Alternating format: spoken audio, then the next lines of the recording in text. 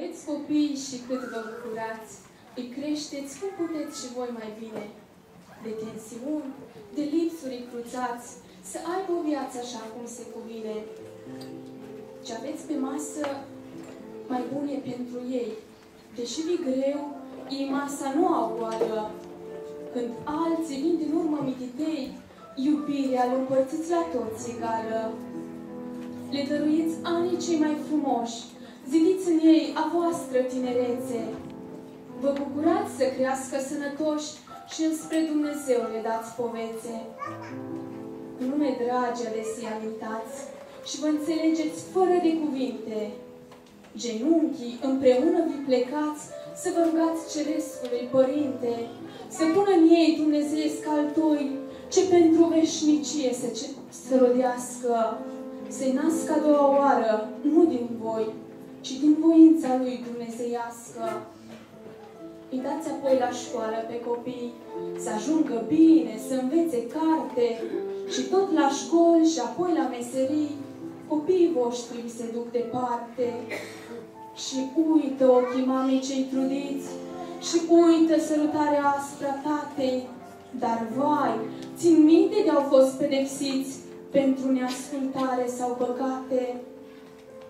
Și când cresc mari, copiii ascuns trăiesc cum nu i-ați învățat vreodată. Nu se sfiesc să pună în răspuns greșeli ce le-au vânat viața toată. E adevărat, răsplată nu doriți de la copii, dar tot tânjiți, măcar o dată, să vină ziua când să-i auziți, cerându-vă iertare înlăcrimată și genunchind alături de voi să vă rugați din nou ca altă dată, sculându-se din rugăciune noi, cu viața pentru Domnul consacrată. Dar clipa întârzie și strobiți, părinții pentru fii stau în picioare și îngenunchiați ei singuri, umiliți, în locul lor cer Domnului iertare. O, zidul cel dintre părinți și fii, dărâmă-l, Doamne, cât e cu putință, căci nu-i decât o cale spre vecii, un plâns amar și adâncă pocăință.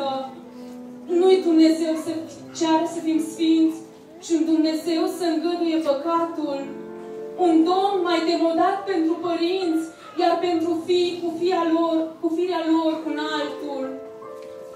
Și dacă se adâncește pe pământ, prăpastia între aceste generații, să nu se întâmple aceasta în locul sfânt, acolo unde se închină frații. Destule lovituri primim de sus, de jos, din jur și atâtea din afară, fie ca în corpul Domnului Isus să fie armonia cea mai rară. Cum unul este Cel ce ne-a născut pe Golgota în amară suferință, să fim și noi asemenea ca un lut ce modelează o singură voință. Iar când se va împlini cum așteptăm, să vii din nou în slavă și în mărire. Ridică-ne împreună, te rugăm, părinți și fii, în veșnică unire.